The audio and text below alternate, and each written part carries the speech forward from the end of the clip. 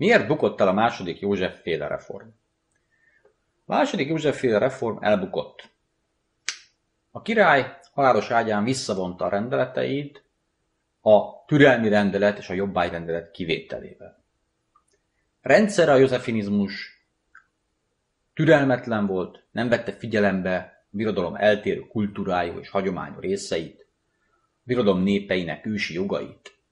Magyarországon is általános felháborodást keltett magyar függetlenség sérelme, az ősi jogok sérelmei, a nemesek kiváltságok ellen való fellépés, az adóztatás terve, a megye megszüntetésére irányuló lépése. Ezek mind-mind durva beavatkozások voltak a korábbi rendi alkotmányba, amit a törvények garantáltak a magyar nemesség számára, és amit eddig a Habsburg uralkodók tisztelbe tartottak. József tekintélyét meggyengítette az is, hogy a török elleni háborúba bonyolódva vereséget szenvedett, ráadásul komoly anyagi áldozatok árán történt ez a vereség, ami ö, egy általános elégedetlenséghez vezetett a királlyal szembe. József már csak azért sem akarta magára haragítani a nemességét élete végén, mert a francia forradalom 1789-ben kitört, és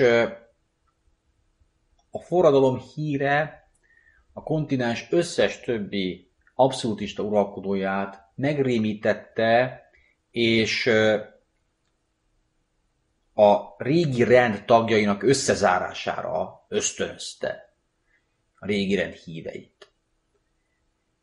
József ugyan egy korszerű, második József egy korszerű rendszert épített ki, egy valóban modern állam eszményét próbálta felépíteni, de ezt az eszmét nem lehetett megvalósítani úgy, hogy a társadalom többsége nem érti meg őt, és az ő erőszakos beavatkozását a viszonyokba elutasítja.